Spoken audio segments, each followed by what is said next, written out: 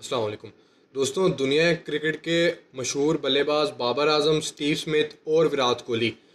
ये लोग सेंचुरी के लिए लड़ रहे हैं, सेंचुरी के लिए रन करने की कोशिश कर रहे हैं बट सेंचुरीज नहीं हो रही और एक एक साल से इनका ऊपर जा रहा है। मैं आपको बताऊँगा, टेस्ट क्रिकेट और ओवरऑल इंटरनेशनल क्रिकेट के अंदर ये तीनों कितने दूर चले गए हैं सेंचुरी से, कितने दिन हो चुके हैं इनको आखिरी सेंचुरी मारे हुए। सबसे पहले हम आते हैं विराट कोहली पर।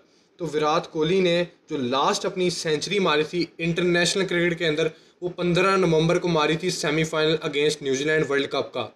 वहाँ पर अब दिन गिने जाएँ तो विराट कोहली के वो बनते हैं three forty one days three forty one days हो गए हैं ऑलमोस्ट अभी देखें रिसेंटली अभी न्यूजीलैंड के खिलाफ तीस रन से सेंचुरी बंदे की रह गई थी, वरना वो सेंचुरी के लिए ही जा रहे थे।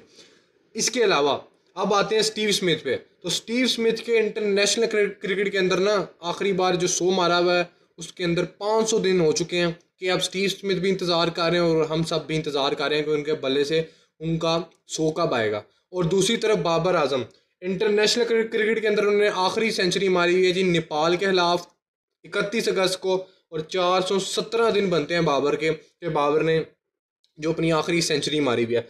अब टेस्ट क्रिकेट की बात करूँ ना, जो टेस्ट के अंदर इन तीनों ने आखिरी आखिरी सेंचुरीज मारी हुई हैं तो उसके अंदर जो लंबी स्ट्रीक लेकर चल रहे हैं, वो बाबर आज़म चल रहे हैं।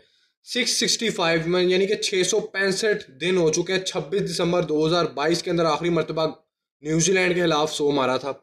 और पाँच सौ दो दिन ही हो चुके हैं स्टीव स्मिथ के। इन्होंने आखिरी दफ़ा आप कह लो कि वर्ल्ड टेस्ट चैंपियनशिप का जो फाइनल हुआ था सात जुलाई को आई थिंक हाँ तो वहाँ पर इंडिया के खिलाफ सो मारा हुआ अपना। और वही पाँच सौ दो दिन टेस्ट के अंदर और ओवरऑल इंटरनेशनल क्रिकेट के अंदर भी बनते हैं।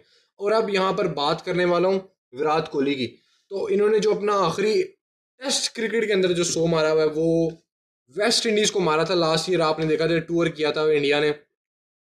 तो वहाँ पर विराट कोहली को दिन हो चुके हैं फोर फिफ्टी फोर डेज़ मतलब कि दिन काफ़ी ज़्यादा हो चुके हैं। और इन सभी दिनों के अंदर देखा जाए तो बाबर के सबसे ज़्यादा दिन हो चुके हैं कि बाबर के बल्ले से सो नहीं आ रहा।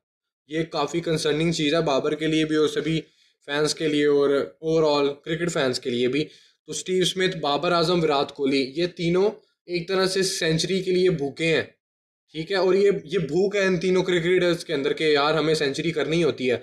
जब ये फॉर्म में लगे होते हैं तो ये आपको पता है कि कैसे कैसे कुछ कुछ इनिंग पाँच पाँच इनिंग का गैप भी देना तो ये सेंचुरियाँ करते रहते हैं। तो लेकिन ये आजकल नहीं हो पा रहा।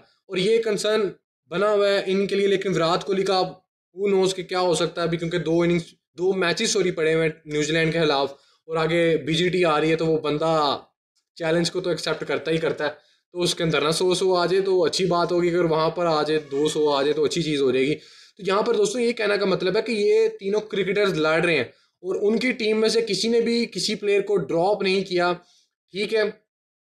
लेकिन बाबर को किया गया। तो अब इसमें ये देखना पड़ेगा कि क्या होता, अभी सुनने में आ रहा है कि बाबर वापस करेंगे, वापसी करेंगे अपनी ऑस्ट्रेलिया टूर के अंदर।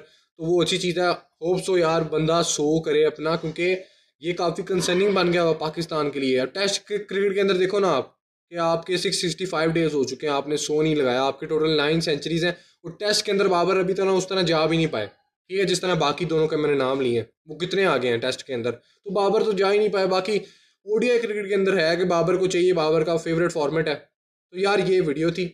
आप लोग अपनी राय कमेंट्स के अंदर ज़रूर देना, इस वीडियो के अंदर इतना ही। अल्लाह हाफिज़।